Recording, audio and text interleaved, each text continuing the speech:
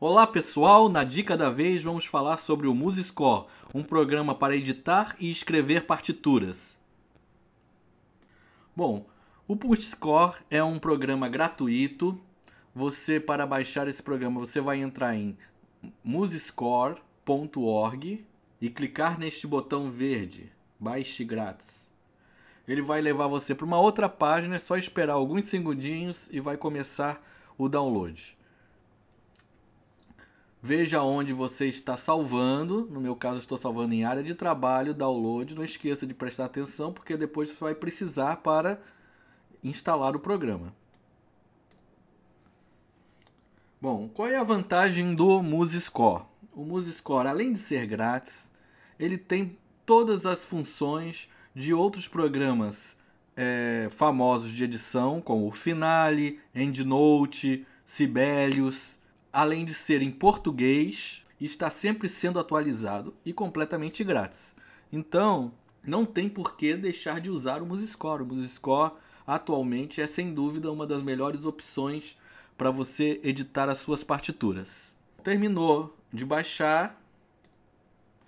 Vamos aqui no lugar onde eu baixei. Está aqui, ó, MusiScore.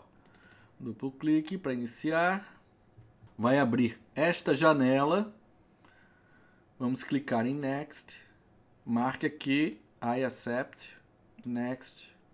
Escolha onde você quer instalar. Pode deixar aquele diretório mesmo, mas eu vou colocar outro porque eu utilizo outro. E install. É bem rapidinho a instalação, porque é um programa relativamente pequeno. E Terminou, basta clicar finalizar que ele vai abrir o MusiScore.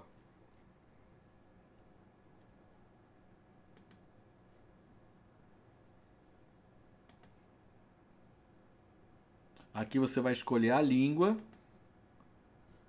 definir a sua configuração de teclado, aqui, ó, português, e escolher o tipo de área de trabalho, pode ser básico ou avançado. Eu vou escolher a avançado porque já conheço bem ele. Aqui eu sugiro deixar como guias e finalizar. Espero que este vídeo tenha sido útil. Compartilhe esse vídeo, se inscreva, dê um like se você puder. E no próximo vídeo vamos ver como fazer a sua primeira partitura.